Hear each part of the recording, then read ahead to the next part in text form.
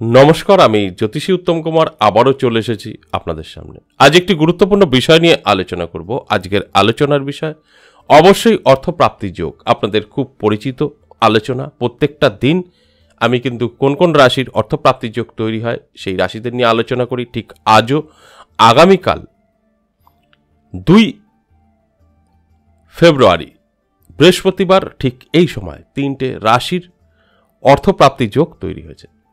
এর ফলে ভাগ্য বদলে যেতে পারে এই তিনটে রাশির জাতক জাতিকাদের। এই নিয়ে বিস্তারিত আলোচনা করব এই ভিডিওর মাধ্যমে। আর তার আগে প্রত্যেকটা দিন যে কথাগুলো আপনাদেরকে বলি, অনুরোধ করি, সম্পূর্ণ ভিডিওটা দেখার জন্য আজও কিন্তু একই কথা বলব। সম্পূর্ণ ভিডিওটা দেখুন, ভালোভাবে বুঝুন। তারপর আপনার সাথে মিলে নিয়ে চলার চেষ্টা করুন। কীভাবে মিলিয়ে নেবেন আমি প্রত্যেকটা দিন এই কথাগুলো বলি। আজও অবশ্যই বলব, সঙ্গে থাকুন। আমি প্রত্যেকটা দিন সেম কথা তো বলি। আর আপনারা আপনাদের মতো কিন্তু ভিডিওগুলো দেখেন। প্রথম আপনার থাম্বেলটা দেখছেন, তারপর কেটে কেটে আপনার রাশিটা দেখছেন, আছে কি না যদি থাকছে তো বেরিয়ে যাচ্ছেন, বড় স্বপ্ন দেখছেন, লটারির দোকানে গিয়ে মোটা টিকিট কাটছেন, মোটা অঙ্কের। সেখানে কিন্তু আপনাদের লস হচ্ছে। আর মনে অ্যাস্ট্রোলজি মানেই খারাপ একটা চিন্তাধারা আসছে। তাই তাদের উদ্দেশ্যে আমি প্রত্যেকটা দিন এই কথাগুলো বলি। যে দেখুন, আপনার অর্থপ্রাপ্তি যোগ তৈরি হয়েছে রাশিতে। আপনার পার্সোনাল জন্মছক বা আপনার হস্তরেখায় তৈরি হয়েছে কিনা, সেটা কিন্তু আমার জানা নেই। সেটা আপনি নিজেই পারবেন বুঝে নিতে। কারণ তিনটে গ্রহ দ্বারা অর্থপ্রাপ্তি যোগ তৈরি হয়। ঠিক আমার এখানে অ্যাভারেজ হিসাব এবং সর্বজনীয় আলোচনা। আমি যেভাবে যেভাবে বিচার বিশ্লেষণ করে রাশিগুলো বার করেছি, সেই রাশি ধরুন আপনার। আপনার সাথেও কিন্তু সেম টু সেম মিলতে হবে, অর্থাৎ গ্রহ, নক্ষত্র কি অবস্থায় আছে সেটা আপনাকে জানতে হবে। কারণ রাশি মিলল আর আপনার সাথে সব মিলল, এটা কখনোই সম্ভব না। এটা একটা অন্যায় আবদার। যে আমার রাশি আছে, আমার সাথে মিলতে হবে। এটা অন্যায়। আপনার আবদারটা। এটা কখনো সম্ভব না। তাহলে পৃথিবীতে কেউই ধনী থাকতো না বা কেউই গরিব থাকতো না। সেম হয়ে যেত। ভালো ফল পেলে সবাই কোটিপতি হয়ে যেত। আবার যদি খারাপ ফল গ্রহরা দিত তাহলে সবাই ভিখারি হয়ে যেত। তাহলে এরকম আপ অ্যান্ড ডাউন থাকতো না, ধনী, বড়লোক, মধ্যবিত্ত থাকতো না। এগুলো আপনাদের বুঝতে হবে। রাশি তো সেই সেম বারোটা। তা লোক এত হাজার হাজার কোটি কোটি জাতক জাতিকারা। দেখুন, আপনার বাড়িতে বা আপনার পাড়ায় সেম রাশি দুজন পেয়ে যাবেন। আপনি ফারাকটা দেখে নিন, আর কিছু বলব না। সে দুজনের মধ্যে কতটা ডিফারেন্স এক কখনো থাকতে পারে না। ভালো মন্দ থাকবেই যে কেউ। তাই এগুলো নিজেদের পার্সোনাল জন্মছক বা হস্তরেখার উপরে নির্ভর করে আদৌ আপনার সাথে মিলবে কিনা সেটা বার করতে হয়। সে দায়িত্বটা আপনাকে নিতে হয়। কারণ আমার এখানে সম্পূর্ণ অ্যাভারেজ এবং সর্বজনীয় আলোচনা আমি প্রত্যেকটা দিন বলি। তবে আমি এই কথাগুলো বলি, আপনাদেরকে বোঝানোর চেষ্টা করি, আপনাদের অ্যালার্ট করার চেষ্টা করি, আপনাদেরকে মোটিভেট দেওয়ার চেষ্টা করি যে আপনার এই সময়টা ভালো, এই টাইমটা ভালো, কোন গ্রহের জন্য ভালো, সেগুলো আমি বলার চেষ্টা করি। তার মানে এটাই যে আপনার সময় ভালো, আপনি এখন করতে পারেন কিছু। আপনার জীবনে উন্নতি করার জন্য চেষ্টা করতে পারেন, সেখানে সাকসেস আপনি পেতে পারেন।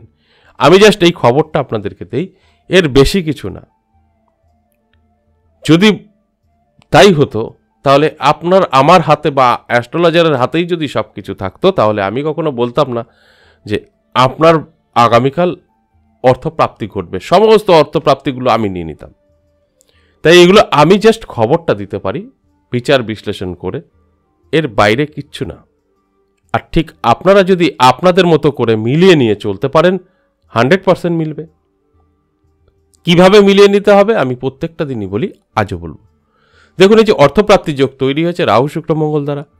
আপনার প্রথম কাজ ভিডিওটা দেখার পর, আপনার জন্মছক যদি বিচার বিশ্লেষণ করা থাকে, মিলিয়ে নেওয়া যে রাহু, শুক্র, মঙ্গলের অবস্থান কী আছে, যদি ভালো থাকে, শুভ থাকে, হান্ড্রেড পার্সেন্ট মিলবে। যদি আপনার জন্মছক বিচার বিশ্লেষণ করা না থাকে, হস্তরেখা ফলো করুন।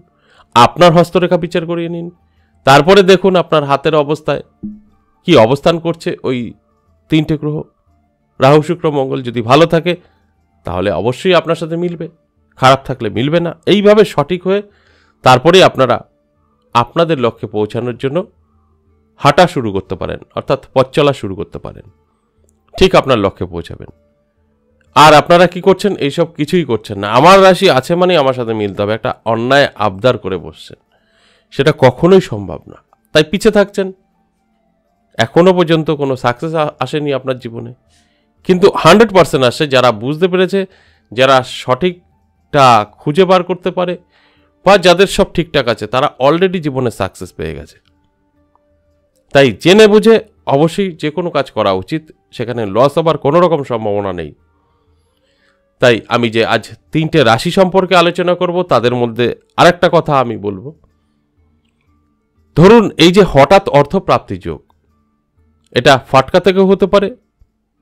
আপনার পরিশ্রমের অর্থও হতে পারে। আগামীকালের পরিশ্রম ছাড়া, অর্থাৎ এর আগের আপনার কোনো গচ্ছিত অর্থ হতে পারে, আপনার হাতে আসবে। এইভাবে কিন্তু আপনার জীবনে উন্নতি হবে। সেটা যে কোনো দিক থেকে হতে পারে। তাহলে আসুন একে একে সেই তিনটে রাশির কথা বলি। যে তিনটে রাশির জাতক জাতিকাদের ভাগ্য আগামীকাল বদলে যেতে পারে। যদি সব ঠিকঠাক থাকে, সেই রাশিদের মধ্যে প্রথম যে রাশির কথা বলব সেটা সিংহ রাশি। আগামীকাল এই সিংহ রাশির জাতক জাতিকাদের অবশ্যই শুভ দিন হতে চলেছে।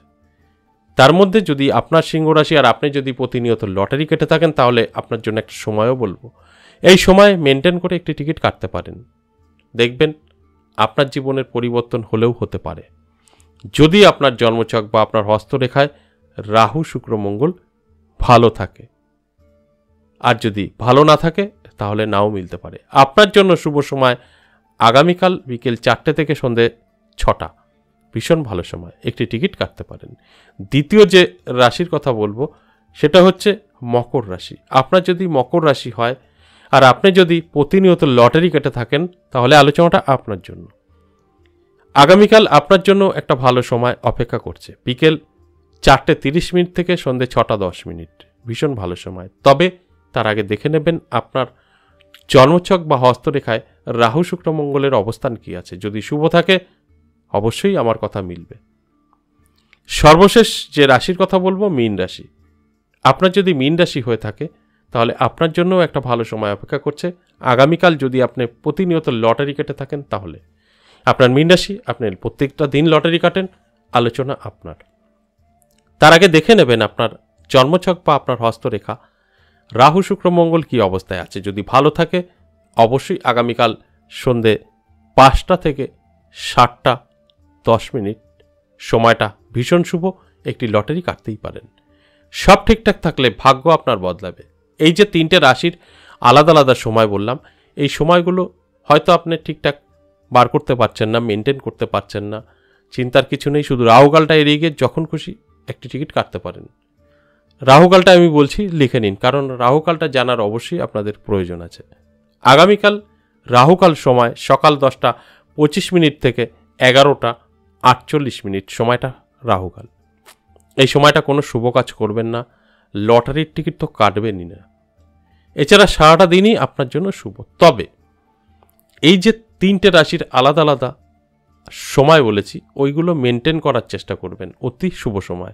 যদি না হয় তো রাহুকাল এড়িয়ে গিয়ে যখন খুশি একটি টিকিট কাটতেই পারেন। সেখান থেকেও প্রাপ্তি ঘটতে পারে। আজ এ পর্যন্তই। আবারও আসব। নেক্সট ভিডিও নিয়ে ততক্ষণ ভালো থাকুন। নমস্কার।